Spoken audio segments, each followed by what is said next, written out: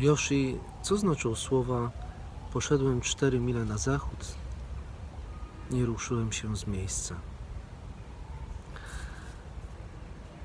Gdziekolwiek się nie udasz, umysł zawsze jest z tobą. To takie dualne słowa. Z tobą, czyli z czym?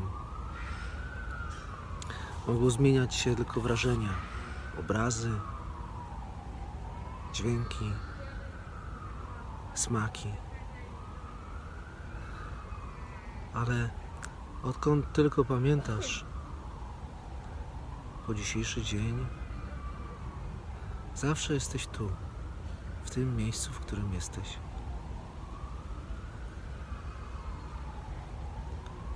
Nigdy nie ruszasz się z miejsca. Zmienia się tylko to, co pojawia się w percepcji. Namaste.